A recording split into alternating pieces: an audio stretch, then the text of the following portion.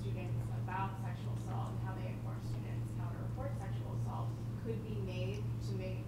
I was only 18 years old as a freshman when I was gang raped. And no one prepares an 18 year old to, do, to go through something like that. At the time I needed help most, I went to the Michigan State Counseling Center where I was told during freshman orientation that I would find support. Instead, I was intimidated and I was told that I was going to be swimming with some really big fish.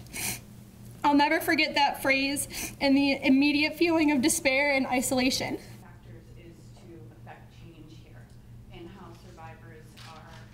um, being on campus. What has it been like to be a student still at Michigan State while your case was playing out, looking forward? if you had to reflect, is there a way that Michigan State could have handled things differently? Oh, yeah, Matt. I am coming out today because I am no longer afraid. I'm empowered to do this, and I have nothing to be ashamed of or embarrassed by. I know that there are others that exist, and they too have been afraid. I want to be an example for them. These silent survivors matter, and they're worth fighting for. They hide in plain sight in all of, of all of us.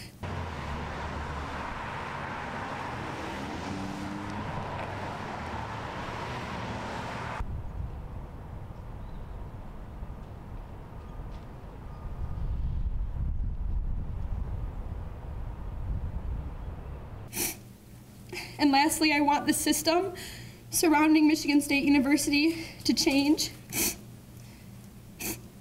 And I want all people to be treated with the dignity and respect, regardless of their status or the revenue they bring to the university.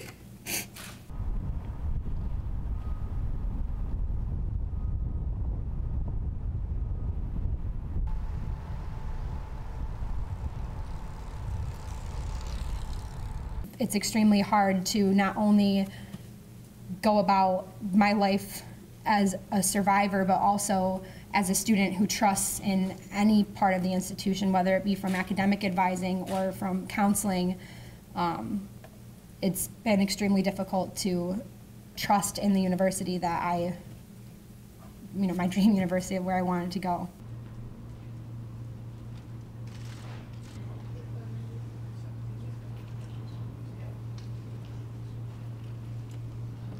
And I am here today because I want you to understand the damage. the damage that this does to a person. Bailey's attorney, Karen who had also